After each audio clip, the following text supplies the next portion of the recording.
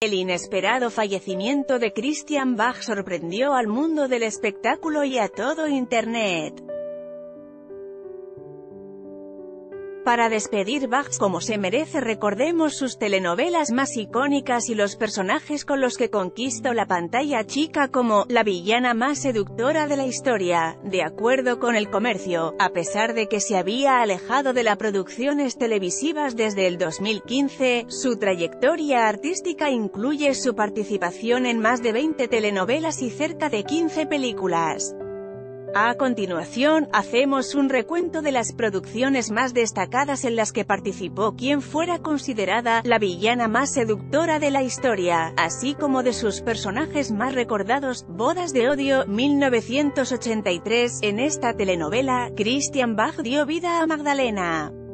Mendoza, una joven que es obligada a casarse con un hombre adinerado para salvar a su familia de la ruina, a pesar que estaba enamorada de un joven y humilde soldado del que la separan pues fue enviado a la guerra.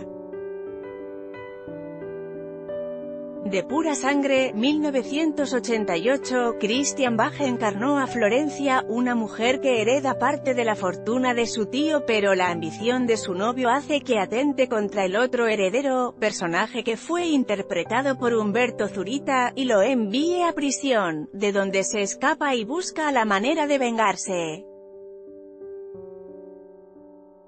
Es en esta novela que se inició el romance entre la famosa pareja de actores. La Chacala, 1997, esta telenovela marca el ingreso a TV Azteca como actores y productores de Christian Bach y Humberto Zurita con su casa productora Zuba. Aquí, la renombrada actriz interpreta a los tres personajes sobre los que gira la historia. Agua y aceite, 2002, en esta producción Julieta, Christian Bach y Ernesto, Humberto Zurita, no pueden vivir el uno sin el otro y son la combinación ideal. La telenovela solo duró mes y medio al aire, siendo cancelada abruptamente, debido a que los temas tratados eran demasiado fuertes para lo que se transmitía en ese momento. La Patrona, 2013, fue una de las últimas producciones en las que participó y es la adaptación de la telenovela venezolana, La Dueña. Araceli Arámbula y Jorge Luis Pila son los protagonistas, pero en el papel antagónico se encuentra de Christian Bach.